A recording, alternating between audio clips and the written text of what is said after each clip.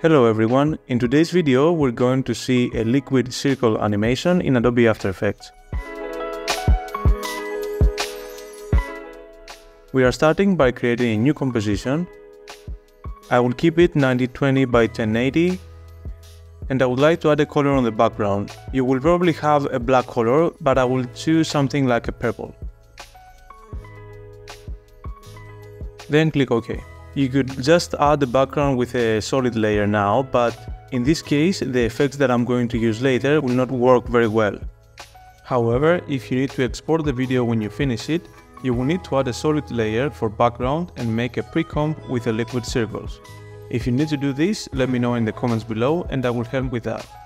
By the way, the project file of this video will be available for download on Patreon and on YouTube membership. So I'm starting by creating a shape layer. So I'm going to layer, then new, and then shape layer.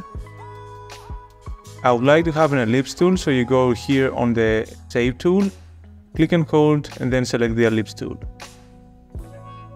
Then you can change the color to whatever color you like. I will keep this yellowish color. And then I click and hold, and I'm also holding the shift key to have a perfect circle and release the mouse to create the circle. Then I would like to add a wiggle effect, so I'm going to the effects tab. If you can't see it, you can go to view, now to window, and then find the effects and presets tab. It is here. So I will start typing wiggle. And in this case, I would like to have a wiggle on the, on the position. So I will double click on that one. I will keep the speed on 1 second and the pixels I will change it to 100. So this is how the circle will behave. Then I'm going to duplicate this layer by pressing Command D on the keyboard or Control D on the keyboard if you have a Windows PC.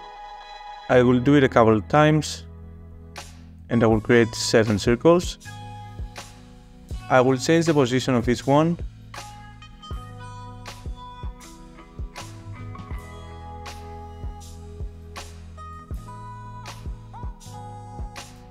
and also the size.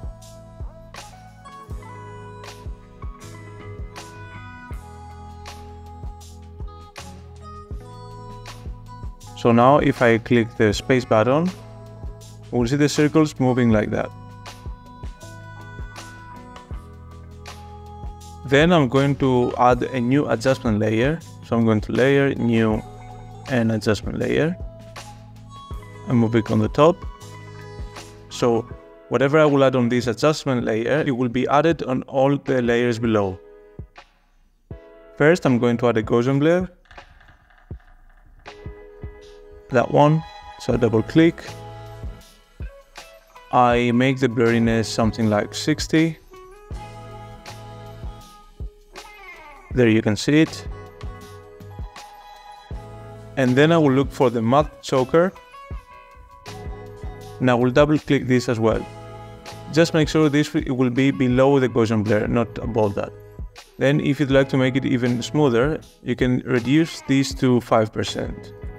So if I play now, you can see that there is like a connection with liquid effect when the circles move closer, like this.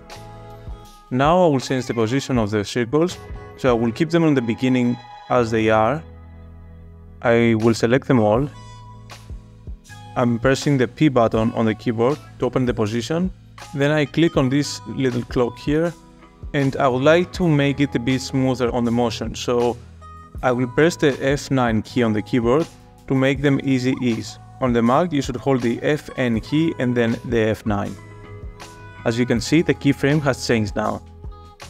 So I'm going like a second later and I will move each of the circles separately somewhere in the middle of the frame.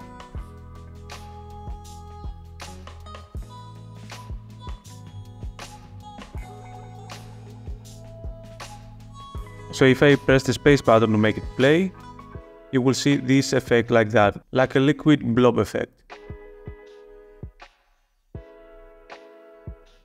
And that was it. I hope you enjoyed this tutorial and if you did, please like, share, subscribe.